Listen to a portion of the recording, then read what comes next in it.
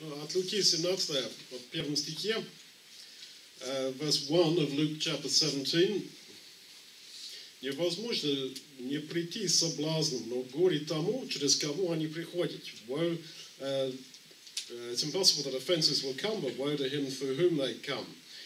Что значит соблазны? What does it mean to offend? Это значит, что мы сможем становиться как камень преткновения для человека, чтобы через наш пример, через наши действия человек как-то падал из путь к Царствию Божию. What does it mean to offend or to stumble somebody? I think it means that we can be a stumbling stone. We can uh, act by a, our example or by, by our, uh, our words or in some way so that someone stumbles out of the way to eternal life. Мы, наверное, считаем, что да нет, у меня вообще значительности нету в этом жизни. У меня власть нету, у меня сил нету. We maybe think that I have no power in this world, I am nothing. Но фактически у нас все есть гораздо больше значительности и сил, чем мы даже представляем. But in fact, we have more uh, power uh, than we ever imagine. Почему? Потому что наш пример является до такой степени убедительно для других людей. Why? Because our example is so powerful to other people. Итак, на самом деле, мы сможем и спасать человеку, и мы сможем и тоже делать, чтобы тот человек ну, соблазнить на своем путь, чтобы он не будет в Царстве Божьем из-за нашего поведения. So we can both save a person by our preaching, and we can also cause a person to, to lose their salvation. А, конечно, возникает вопросы сразу, а где Бог в этом? Разве Бог это пропускает? Почему Он не будет действовать, чтобы это не будет? And of course that raises the question, well, where's God in all this? Why doesn't God uh, stop someone stumbling? Конечно, это не так, что Бог как-то пассивно. It's of course not true that God is kind of passive. Но это значит, что Бог как-то отдал нам ответственность за наше поведение. But it means that God has given us responsibility for our behavior. Значит, что я могу предлагать человеку ну, Евангелие, то есть спасению, если он не будет это принять, ну ладно, это его проблема. А если я не буду ему это предлагать, это не обязательно, что Бог будет как-то действовать в этом жизни, в жизни этого человека по-другому. Нет, у меня есть ответственность для этого. So if we offer salvation to a person and I accept it, well, that, that's a great blessing. Uh, but if I don't do it, it's not necessarily true that God is going to raise up another way to save that person because God's given that responsibility to us. И тоже наоборот, мы сможем становиться как камень преткновения к человеку. И в этом плане если мы будем делать, чтобы человек вообще соблазнится и не будет дальше верить или веровать, это, это наша ответственность. И не обязательно Бог не будет как-то действовать, чтобы отрицать э, действие э, нашего. And likewise, we can cause someone to fall out of the way to salvation, and it's not necessarily so that God kind of presses a button that overrides what we've done, the, the result of it because we've been given free will, and He has given us this uh, huge power of free will. В третьем стихе. «Если же согрешить против тебя брат твой, выговори ему, и если покается, прости ему. If your brother sins against you, if he repents, forgive him». Я думаю, что Иисус как-то это сказал, как цитата из человеческой мудрости. Почему я так считаю? Потому что дальше – четвертый по десятый, мне кажется, он как-то сказал по-другому, что надо просто так простить человеку, не смотря на то, если он покаялся или нет. I want to suggest in verse 3, when Jesus says, if your brother repents, then forgive him, I think that he's quoting sort of human wisdom there, because from verses 4 to 10, he then seems to go on to say, forgive the guy anyway, whether or not he repents. Даже если мы будем это принять так, как написано, если покаяться, я буду простить. Even if you accept it as it's written, if he repents, I'll forgive him. Хорошо, Иисус сказал, что как ты будешь простить другого человека, так, как Бог будет тебе простить. Well, if that's how we want to read it, Jesus also said that as we forgive others, so we shall be forgiven. Я понимаю так, что как, какую ну, политика у нас есть, допустим, насчет прощения другого человека, такой же политика Бог будет использовать и с нами. But I understand that to mean whatever policy of forgiveness we have, then this is what God will use to us. И разве мы покаялись от каждый грех, который мы совершили в жизни? Нет, потому что мы даже не созрелись к тому, что это, допустим, было грех, или мы забыли, что я согрешил 10 лет тому назад, или и так далее. But have we repented of all our sins? Well, I'm sure we haven't. Probably forgotten the vast majority of them, or we haven't even woken up to the fact that it, it was a sin.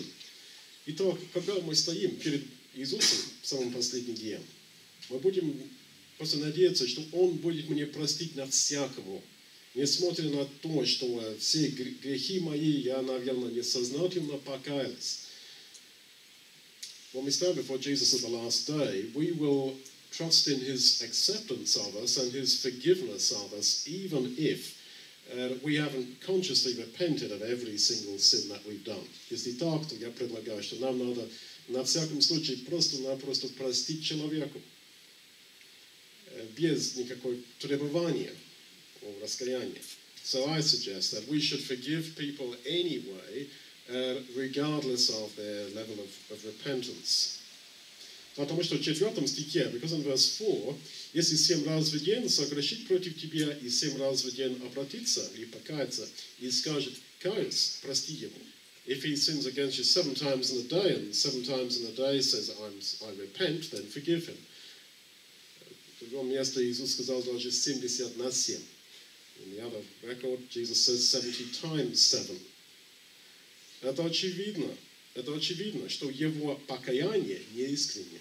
It's obvious that his repentance is not sincere. Если 7 раз или 7, 70 на 7, 490 раз в день человек, допустим, будет тебе ну, украсть кое-что у тебе или оскорблять тебе, и о, упс, я извиняюсь, и опять, упс, я извиняюсь, и опять. Это видимо, что это не искренне. Just imagine that literally seven times or 70 times seven for 90 times a day, uh, a guy uh, curses you uh, or he steals something from you, hits you, and then says, whoopsie, I'm sorry, and then does it again. It's clear that his repentance is not sincere. А Иисус сказал, что все равно, прости ему. But Jesus says all the same, forgive him. Значит, что это не для нас судить ну, искренность, покаяние другого человека. So it's clear that he means don't judge the level of sincerity in another's repentance. Если мы не будем судить искренность покаяния у другого человека, то, в принципе, значит то же самое, просто надо ему простить, на всяком. And if we are not, according to that verse, to, to judge the sincerity of another guy's repentance against us, then it's the same, to me saying the same thing, the guy. И это, конечно, огромное благословение для нас, если мы сможем только простить, и все. And of course, it's a great blessing for us if you can live like that, if you can really forgive and move on. А что иначе, если я не буду простить? Uh, what if you don't forgive? Ну что? Well, what? Будешь носить постоянно груз этого, факт того, что ты согрешил, согрешила против мне, и я не буду тебе простить, потому что ты как-то не на полу перед мной. А что, ты будешь носить такой груз каждый Божий день? And so, what's the option? Someone sins against you, you don't forgive them until they're on the carpet in front of you begging for forgiveness. What are you going to do? Carry the burden and the weight of that every day in your life? И побольше тогда жизнь продолжается. As far as life goes on, и мы становимся ну, постарее, и we get older, это значит, что жизнь является такой психологический груз. Это ужасно. Носить каждый день тот груз. And uh, just as life goes on, then it just would make life psychologically impossible. That every day you've got to bear the increasing burden of more and more people who sinned against you who you won't forgive. В этом контексте, in that context, шестой стих, verse 6, ну, пятый, well, five. Сказали апостолы Господу, умножь в нас веру. The apostles say to him, well, increase our faith. Вера в чем? Вера в том, что я могу простить. Это прямо в контексте. Иисус сказал, что надо просто-напросто простить человеку. Семь раз в день, 70 на 7. Ой, Господи, умножь в нас веру. То есть это очень сложно. Дай нам, пожалуйста, тот веру, чтобы я могу простить. Это вот следуется из контекста. So when in verse 5 they say, increase our faith, they're saying this directly in the context of Jesus saying, forgive the fellow seven times, 70 times, seven times per day. And they say, oh, that's real hard. Increase our faith. So the context is increase our faith that we can forgive others who are insincere. В этом контексте Иисус сказал, and in that context Jesus says, 6 стих, verse 6, если бы вы имели веру со зерна горчичное и сказали смоковнице сей, исторгнись и пересадись в море, то она послушалась бы вас. If you had faith as a grain of mustard seed, you could say to this uh, fig tree, be plucked up by the root and be planted in the sea, and it would obey you. То есть Иисус имел в виду, что простить человеку, который, видимо, неискренне без настоящего покаяния, это очень сложно. Это похоже, что нам придется с верой вот, сказать смоковнице «исторгнись и пересадись в море». Это очень сложно. Но Иисус имел в виду, что это, да, это так сложно простить людей без покаяния. So when he says uh, about uh, it's uh, the same as saying to the, to the fig tree, be plucked up and be planted in the sea.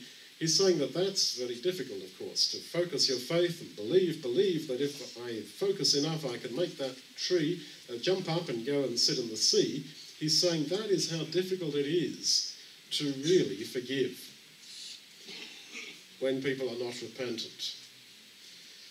Итак, Иисус в этом плане признался о том, что настоящее прощение – это очень сложно. And so Jesus recognizes by saying that, that true forgiveness is very difficult.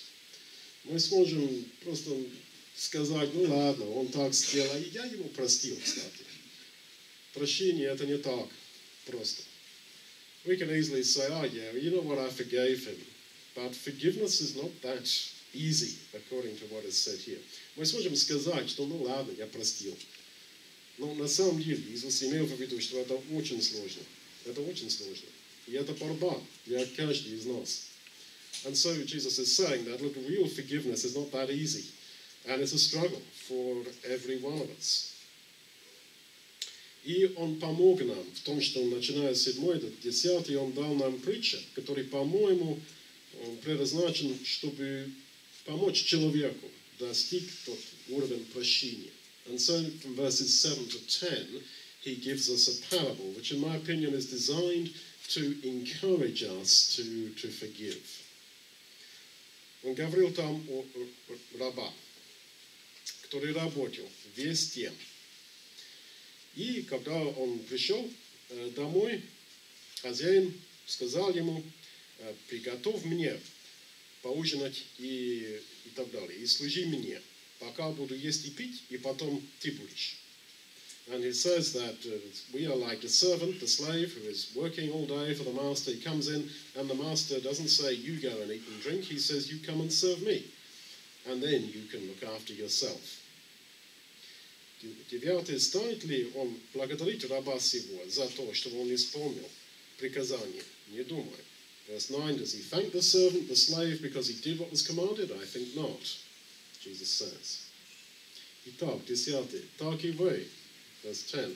Так и вы, когда исполните все э, повеленное вам, говорите, мой раби ничего не стоящие, потому что сделали, что должны были сделать. We are unprofitable servants, even if you've done everything that is commanded you, uh, we are unprofitable, we've done only what was our duty.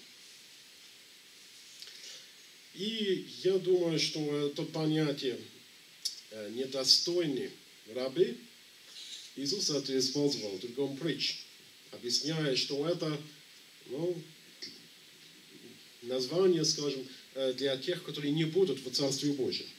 This idea of unprofitable servants is used by Jesus in another parable when he says that the unprofitable servant shall be condemned, shall be cast into outer darkness at the last day. Итак, Иисус имел в виду, что даже если ты был бы послушным, абсолютно, перфектно на все заповеди, ты все равно рабы ничего не стоящий перед Богом и достоин только для осуждения. So he's saying that even if you are perfectly obedient to all the commandments, then all the same, you are still unprofitable servants, you are still worthy only of condemnation. Иисус дал другой притч, который имел то же самое, суд. Jesus gave another parable that had the same point. Он сказал, что ты как человек, у кого был огромный долг. He said that you're like the man who has a huge debt.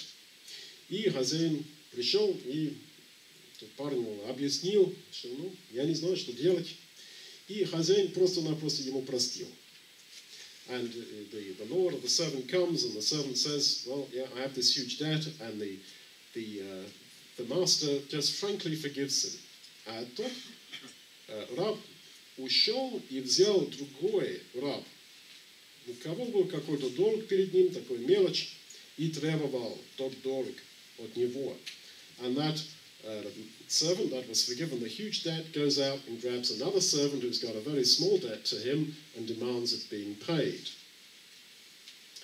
Итак, Иисус хотел, чтобы мы как-то идентифицировались с этими ну, раба, у кого есть огромный долг, или с этой ну, раб здесь, который совсем недостоин. And so Jesus wants us to identify ourselves with the servant who's got a huge unpayable debt. or with this servant here in this parable who does everything but is still unworthy. Я думаю, что если только мы сможем чувствовать до таком степени, мы являемся серьезными грешниками, тогда у нас было бы основание для прощения другого человека. So I think that what he's saying is that if only you can realize the seriousness of your own sinfulness, then you will find a basis upon which to forgive others. Тут вопрос о прощении. Это огромный момент в жизни, я верю, каждый из нас. I believe this issue of forgiveness is a huge issue in the lives of every one of us here. Есть людей, которые постоянно живут в суете, унынии, депрессии каждый день, вспоминая, вспоминая все то, что людей не то сделали против, против них. There, there are people who live every day in some kind of depression, in some kind of anger, feeling absolutely useless because of this feeling, that they, these uh, memories they have of the way that someone has sinned against them and reliving it every moment. Ну, просто сказать, ну, давай просто лучше надо им простить и все. Это, это, это очень легко так сказать. And, and to say, well, yeah, so get out of it, just forgive them and move on. And it's very easy to say this. А вот Иисус объяснил нам здесь. That Jesus explains to us here. Как он сам понимает прекрасно, что прощение это очень сложно. But Jesus explains here how it's very difficult to, to forgive, and he recognizes that. А в контексте всего этого речь о прощении – у нас есть второй стих, ну, первый, второй. But in the context of all this talk here about forgiveness, we have verses 1 and 2. И давайте перечитаем. So let's read it again. Невозможно не прийти соблазном, но горе тому, через кого они приходят. Лучше было бы ему, если бы мел, э, мельничный жернов повесили ему на шею и бросили его в море ежели чтобы он соблазнил одного из малых сих.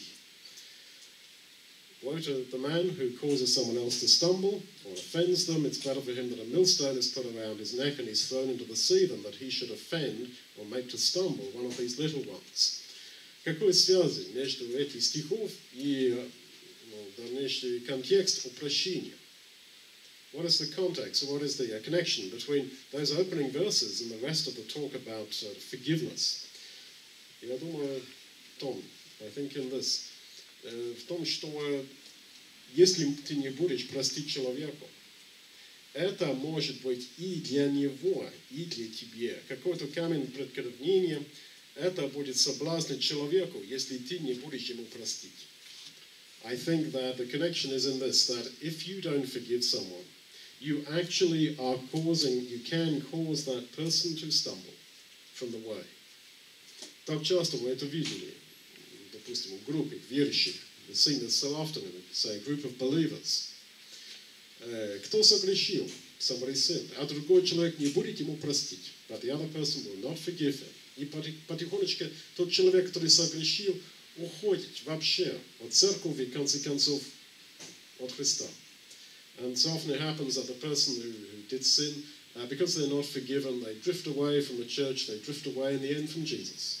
Значит, что из-за того, что мы не простили тот человека, мы соблазнили, соблазнил от одного из малых сих. So it works out that because we didn't forgive, as Jesus says, we offended one of the little ones. We made one of the little ones to stumble.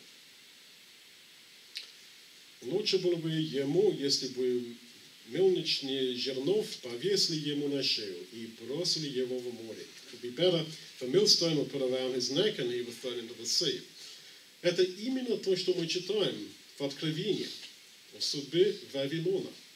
И тот огромный зверь и, и проститутка Вавилон в последние дни.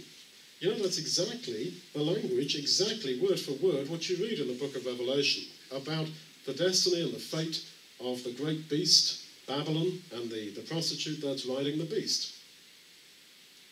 Кто тот зверь, кто эта проститутка, ну, я просто-напросто это самая ну, радикальная форма злость и грех в последние дни, скажем так. Well, just putting it simply, that, that whole system of Babylon and the, the beast, etc., let's just say that it's a symbol of the, the worst form of evil and wickedness that is to be destroyed by Jesus in the last day.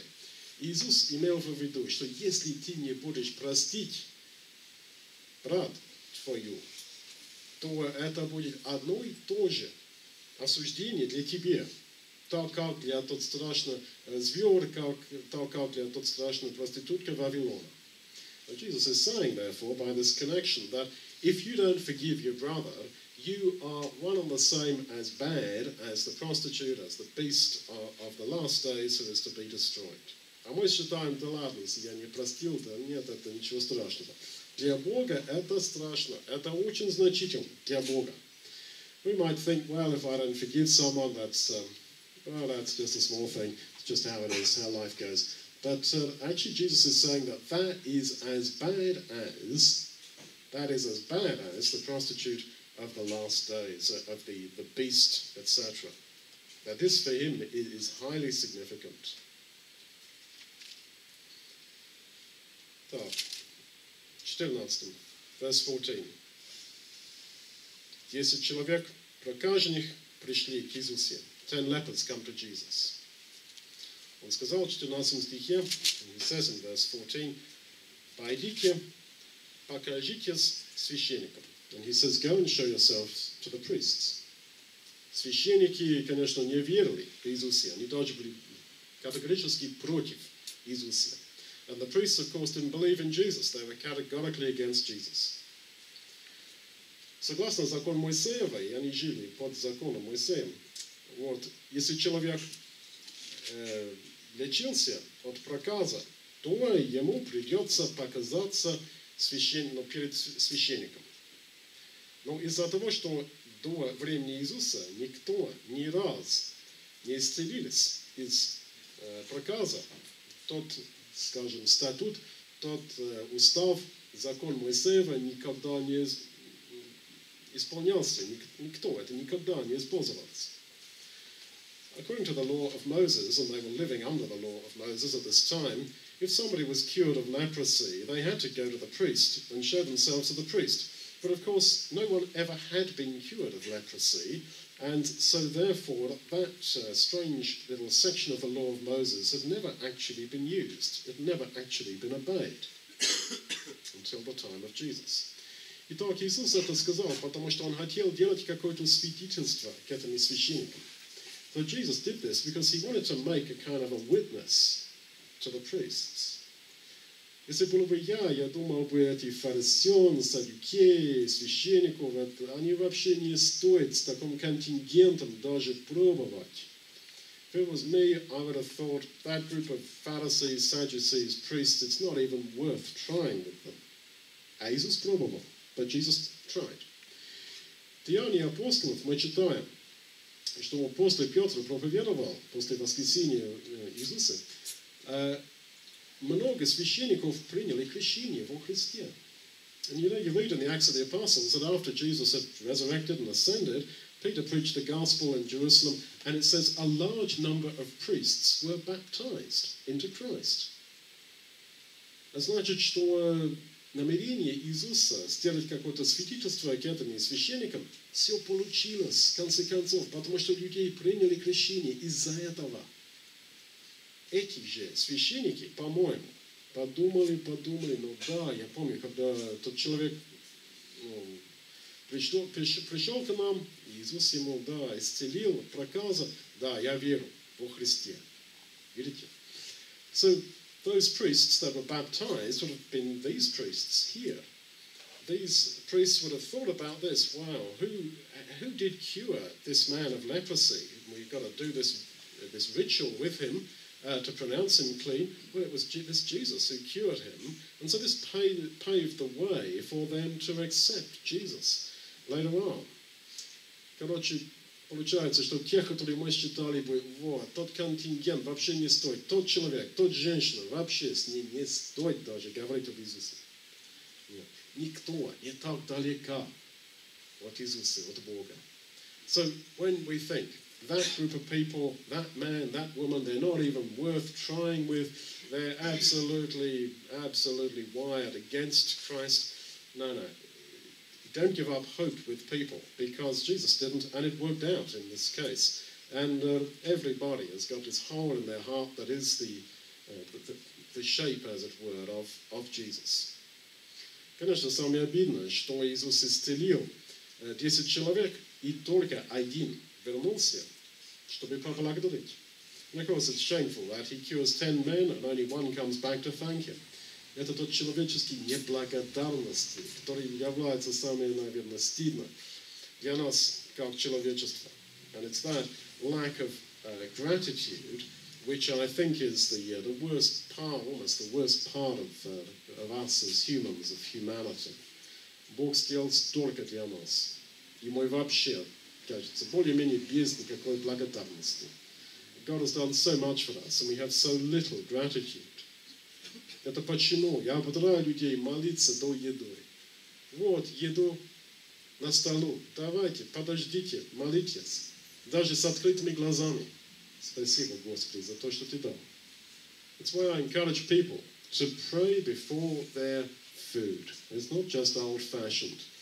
And even with open eyes, if it's not appropriate, other people are, are aware, just with open eyes, just thank God for your food as it's sitting there on the table.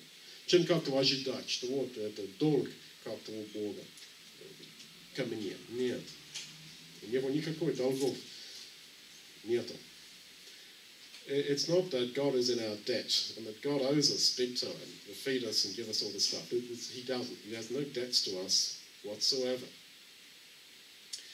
Итак, смотрите для этого. So watch out for that. Тот неблагодарность, которая является стыдной частью наше человечество. So watch out for that lack of gratitude, that ingratitude that is a shameful part of, of us as people. 26, 26. И как было в дни Ноя, так будет и в дни Сына Человеческого. Ели, пили, женились, выходили замуж до того дня, как вошел Ной в ковчег. И пришел потоп и погубил всех.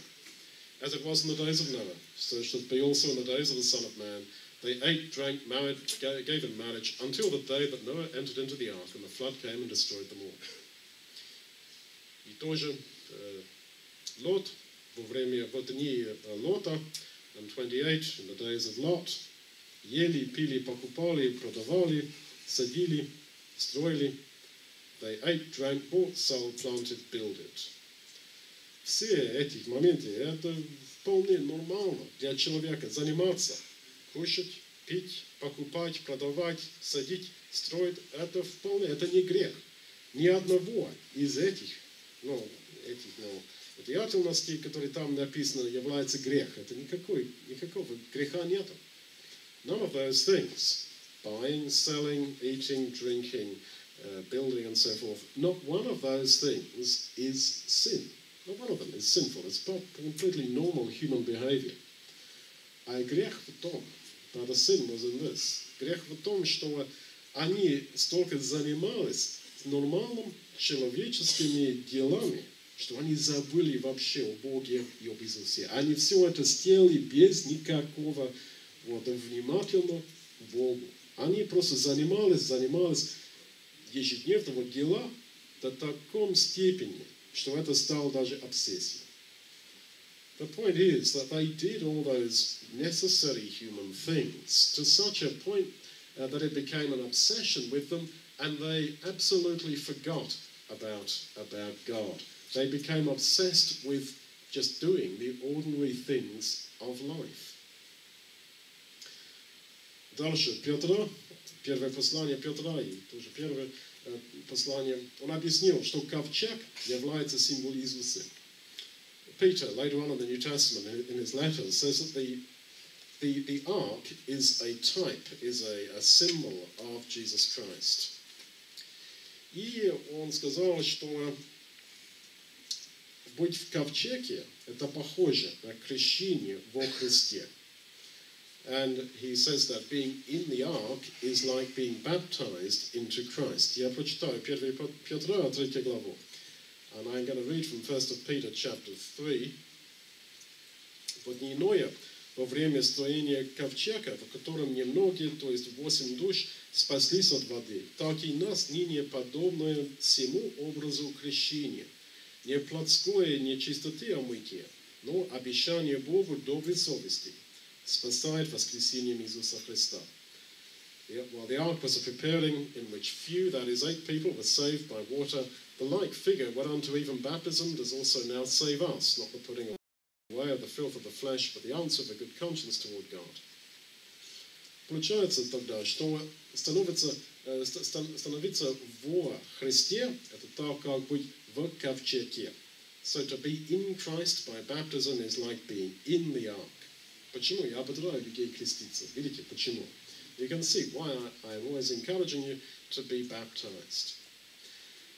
Потому что потоп будет. И тот потоп говорится в этом символе о суд, который будет э, во время пришествия Иисуса. Because judgment is coming, and the waters of the flood are a symbol of that judgment which is to come at the, at the coming of Jesus. значит, вообще страшно. Время скорбь будет на этом свете. И мы уже как-то чувствуем всякие, то, что творится в этом Востоке и, и, и так далее. Это все как-то начинается. There's going to be a terrible time of trouble coming on the earth, such as never was. And you can already see by what's going on in, in the world at this time, particularly in the Middle East, that that time is developing. It's coming. That the clouds are coming. И нам должны быть во Христе. And we need to be in Christ. Вы помните, конечно, бы смеялись, когда Ноя строил ковчег. Ты что? Ну, даже дожди не было. Был только какой-то туман. Понятия дожди у них не были. И так, когда он сказал, что, ну, ребят, дожди будет, потоп будет, они все смеялись, что это совсем другое, новое для им понятие. Everybody laughed at Noah when he was building his ark because he said, Rain is coming, there's going to be a flood. But they'd never seen rain. There had not been rain on the earth until the time of the flood because the earth was watered, we're told, by a mist. And so it was a totally new concept that there could be rain, there could be a flood. It's a totally new concept for them, and they laughed at him. И это тоже для нас в этом мире. It's the same with us in this world. Что это кажется абсолютно, абсолютно, ну, глупость, допустим, ездить в море, покрестить человека. In the eyes of the world, it seems completely crazy that, that we go down the sea and baptize a guy. Это кажется на глазах мира абсолютно абсурдность. и что у нас ванна там есть, где мы крестим людей. It seems in the eyes of the world complete absurdity that we have in the kitchen next door a bathtub where we baptize people. Но, в конце концов, когда это не скорби будет, это уже будет для тот мира, тот смеящий мир, тех, которые смеются, это уже будет слишком поздно. But in the, for this world that, that mocks us and doesn't want a part in Christ, it's going to be too late, just as it was too late when the, when the water came. И вот 32 стих, verse 32, вспоминайте жену Лотову. Remember Lot's wife. Помните, вот э, Лот с женой, они ушли в самый последний минут из Содома. Она смотрела обратно и стала столб соленый. Remember that Lot and his wife and his daughters, they leave the, the city of Sodom, and she looks back over her shoulder and she becomes a pillar of salt. Куда она смотрела? Where did she look to? Смотрела, вроде скучала, мой новый кухни, ой, дом у нас такой красивый был, ой, как скучала. She looked back and I, maybe she thought of her new kitchen, she thought of their apartment, their house, or whatever, and, and she was just sad for it. Тех, у кого ничего нету, или тех, для кого всякие это, это чистая ерунда. У них такой тенденции, такое искушение было бы гораздо меньше. Those who don't have anything, or those for whom material possessions just don't mean anything, uh, that will be a far smaller temptation to look back and, uh, and, and in, in sadness at what they are losing. Видите, впереди, когда Иисус придет, вот, это радость, вау, Он пришел, сейчас впереди мне вечной жизни, вау, хорошо, я рад. А тех, у кого нет такого перспектива, ой, что, я только что покупал машину, ой, я только что покупала, не знаю, кое-что красивее в доме. Я только что красила дом. Ой, это как-то нет. И так видите, как это легче. Когда у нас всякие эти моменты вообще нет в жизни.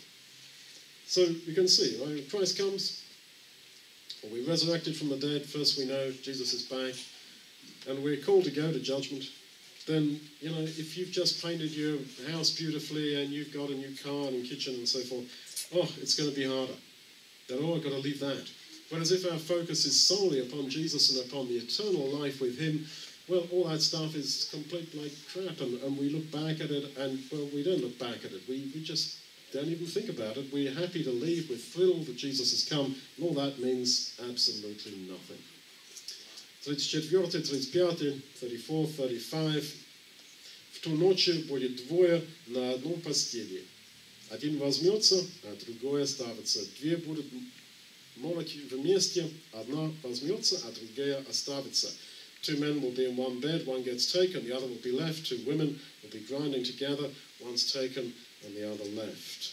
Видите, как Иисус балансировал. Притча, притча для мужчины и притча для женщин, кстати. And by the way, notice how often in the Lord's parables he tells one for men and one for women. He was really all-inclusive.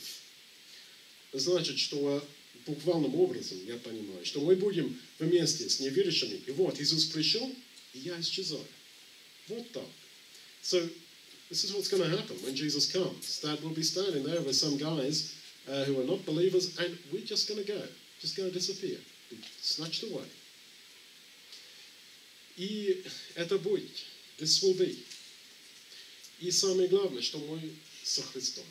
And the main thing is that we are with Jesus. И мы сможем тогда смело ожидать тот день. And we can confidently look forward to that day.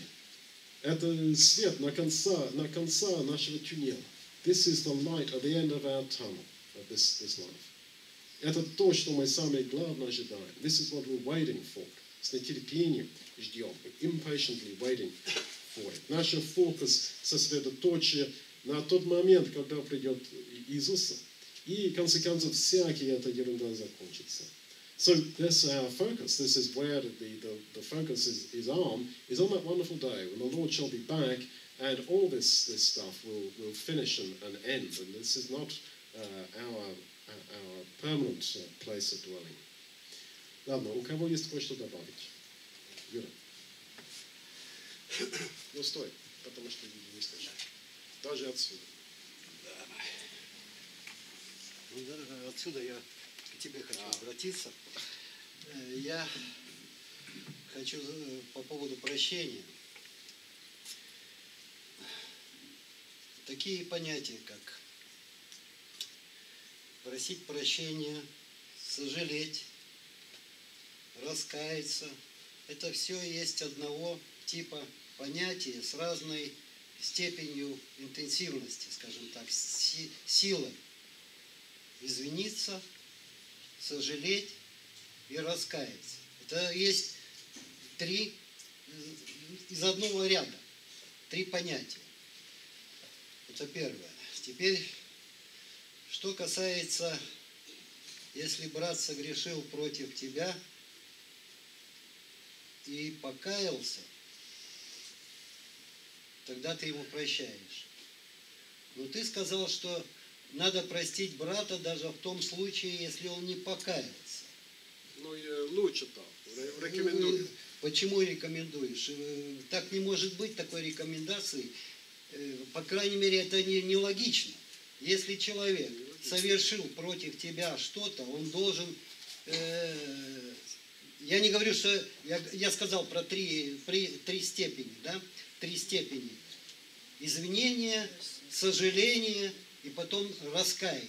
Это три степени из одного ряда понятия. Но э, раскаяние это не то же самое, что э, попросить извинения. Да? Это, извиниться это так просто. Это самый первый этап. Просто начало. Ничего до этим может не следовать. Ни раскаяние, ни сожаление, ни раскаяние, а просто это первая точка. Без нее не произойдет ни всего остального. И, и вот эта точка должна быть. Если ее нету, ну что же его прощать, если он об, э- об этом не спрашивает? Кому ты прощаешь? Ты ему прощаешь, а он тебя об этом даже не спрашивает, даже не заикается об этом. А потому что у него не возникает этого желания, то есть у него даже не возникает желания этого начального попросить ну, извинения, хотя бы так. Я уже не говорю о всем остальном. Поэтому здесь и сам- самый смысл, что я здесь вижу, я вижу это только то, что ты не можешь знать степень этого просьбы его. Просто такое или какое-то более глубокое, или полностью глубокое. Полностью он раскаивается, и это перед тобой, да? И поэтому я тут вижу только то, что если он начал этот процесс, все, не надо тебе дальше думать, вникать в это и анализировать. Просто возьми и прости. Это первое. Второе. По поводу того, где Христос говорит про то, что даже если ты соблюдал все э, заповеди, ты соблюдал все заповеди, все равно ты должен э, чувствовать себя вот так. Это то же самое, что ты, ну как ты можешь э, ценить, э, если, тут я понимаю так, вот я соблюдаю заповеди, я, я знаю, что я соблюдаю заповеди, и поэтому я себя вот поднимаю на какую-то ступень, да? Но дело в том, что э, я соблюдаю заповеди, не мне это оценивать. Я не могу это оценивать. Это оценит Бог на суде. Сколько, сколько я соблюдал эти заповеди, как соблюдал, соблюдал ли вообще. Это тут, э, тут еще такой же момент, это про заблудшего э, сына, да, когда э, второй, второй сын его был с отцом, соблюдал все заповеди. Вот все он соблюдал. А вот отец предпочел этого. То есть, ну, у Бога есть свой, свое видение этого. И что ему надо? Это вот по поводу этого, да. Ну, то есть вот и по поводу э, э, раскаяния и покаяния. Ведь, ну, я не знаю, там, может, я не так это понял, но без покаяния спасен Ни один не может быть. Иначе смысла во всем этом не было. В том, что мы сейчас, что мы сейчас делаем, да? Что ты вот сейчас делаешь. Если без покаяния будет прощение, если будешь спасен, ну а зачем тогда это все? Вот такая мысль. Спасибо, Юра, за домашнюю работу. Сейчас я постараюсь ответить, но я не знаю, как отвечать. Вот. На, насчет того, что ну, Юра правильно сказал, с этим я согласен. Но как мы сможем сказать, что я все, все заповеди соблюдал? Нет. Иисус это прекрасно знал, что никто из нас не мог бы как-то выпендриваться нашей послушности, что я вот такой, ну, послушный, все заповеди. Конечно, никто не может так сказать. И я думаю, что он имел в виду, что даже если ты будешь так чувствовать, что я все выполнял, нет, ты все равно не то. И это да. Насчет покаяния. Это так, что есть такой, как Юра объяснил, что мы сможем иногда не только покаяться, есть то покаяние, есть чувство, ну, что я сожалею, что я это сделал. Я думаю, что то чувство, что ой, сожалею, это одно. Но это вроде не покаяние. Это, ой, консеквенции, ну, наследствия будут из-за того, что я сделал. Я поэтому сожалею. Но это не покаяние. Это типа, к сожалению, не получилось в тот раз. Ну, сожалею. Насчет самый главный вопрос, который Юра поднял. Как и зачем простить или даже предлагать прощение, если человек не покаялся. Я не говорю, что вот покаяние это ни при чем. Нет, покаяние, конечно, для нас очень важно. Ну, я думаю, что, как я сказал, Иисус, по-моему, в этом же контексте как-то объяснил, что, ладно, вы сможете. Имеет такая политика, где я не буду простить только при покаянии. Ну, хорошо, ты сможешь. Но если так, то это было бы тот же самая политика, которая будет у Бога с тобой. И Давид, 18 э, псалом,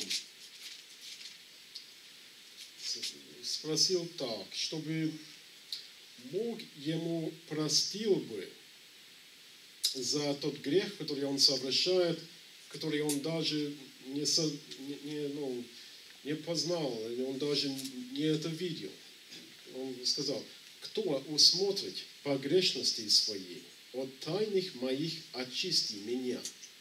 То есть он, предла, он, он признал, что у меня грех, который я сам, это в таинстве для меня. Я этих грехов не, не вижу, но все равно прости меня, потому что кто усмотрит погрешности своей, кто на самом деле мог бы рисовать или писать список наших греха.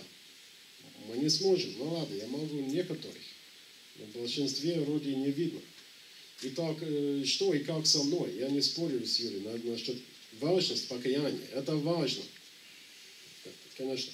Но я просто имел в виду, что мы до конца не видим все наши греховности. Кто усмотрит погрешности свои? Ну, свой. Мы не видим. Мы не усмотрим до конца. Поэтому наше спасение может быть только на основании благодати или милости. И я, это мое дело предлагать. Мое дело предлагать. И я предлагаю, рекомендую. Политика такой, что я буду просто-напросто простить. И все. Хотя в одном плане я вижу логик у Юрия. То, что я предлагаю, наверное, без логики. Я, я согласен с этим. Но спасение тоже, я считаю, без логики. Это не так, что все как-то логично.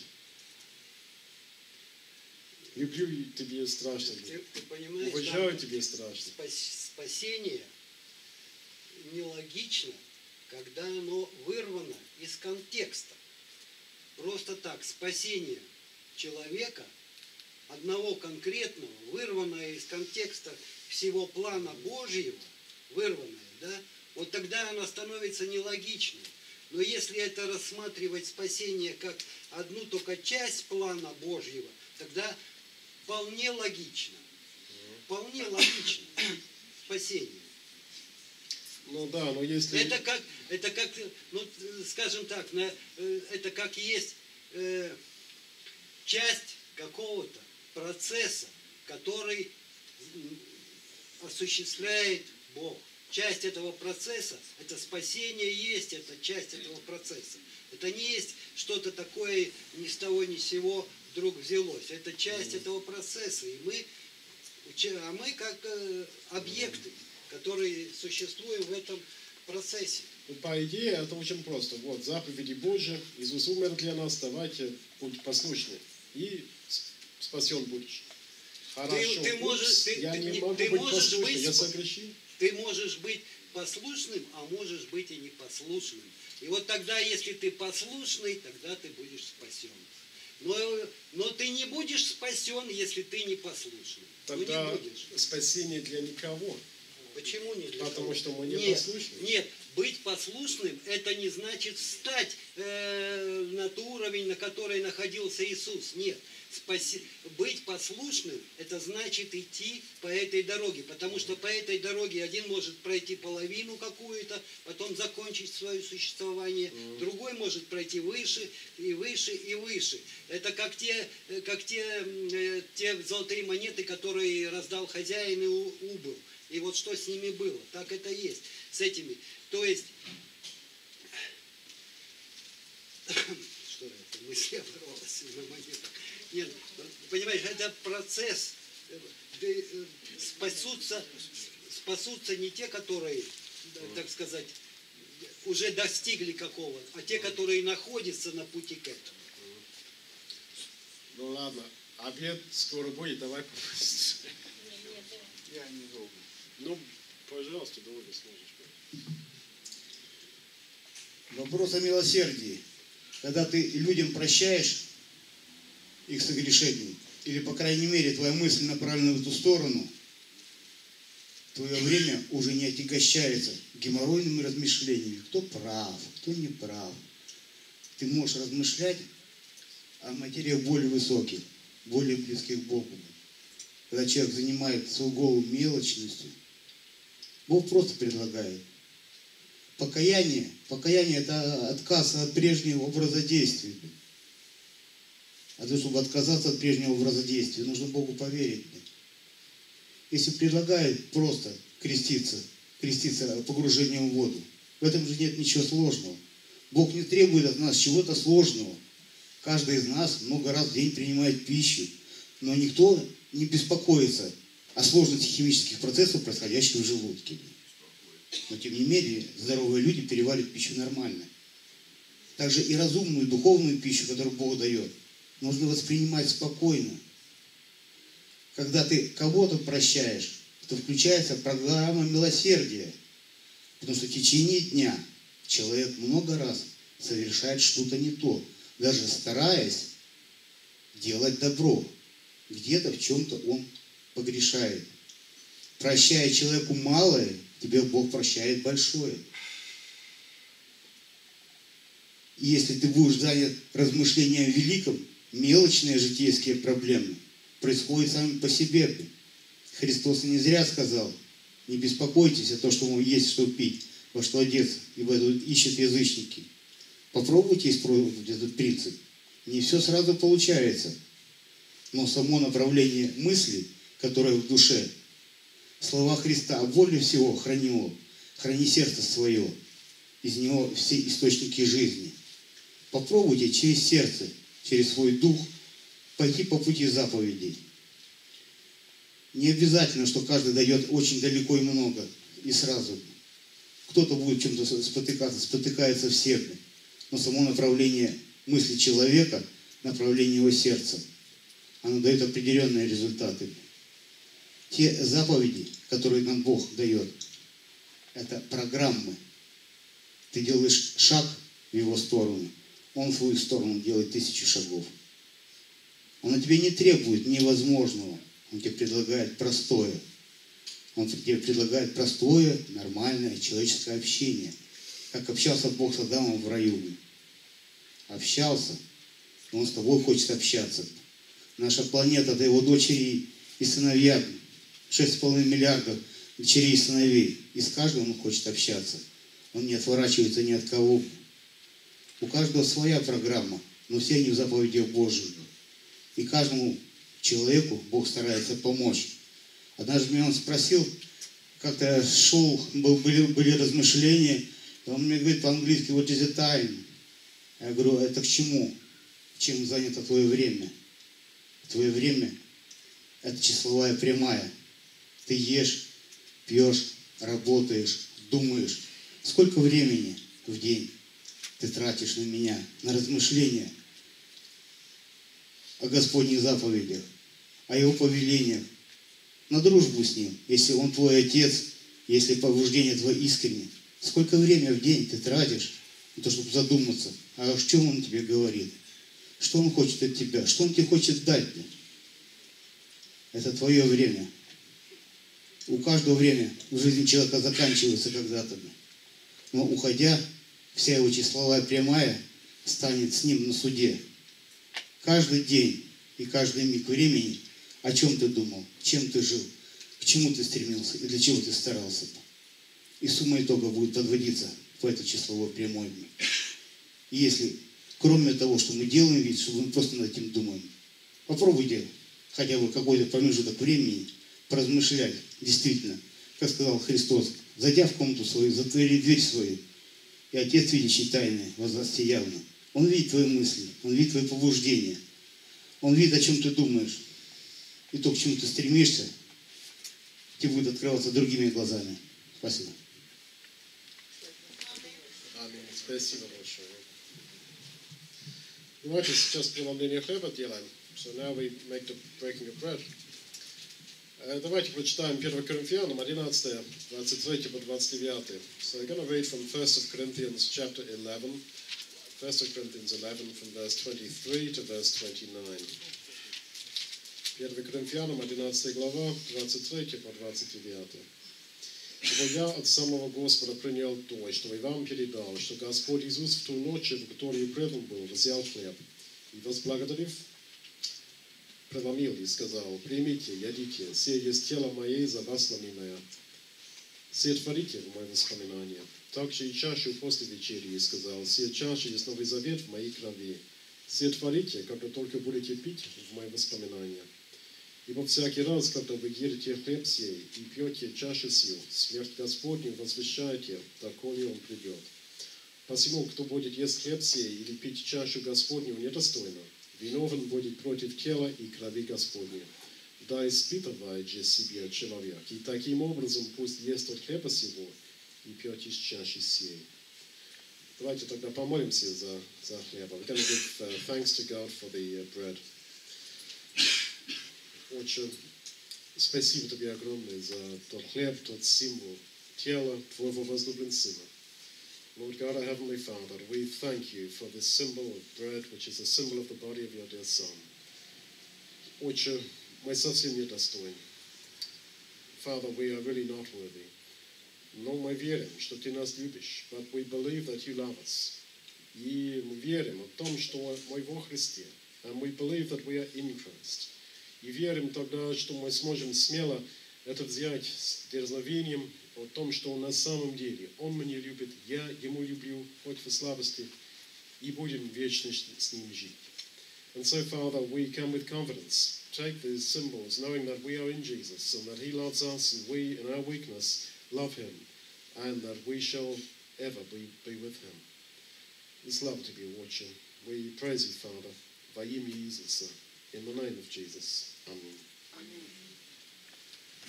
Держишь,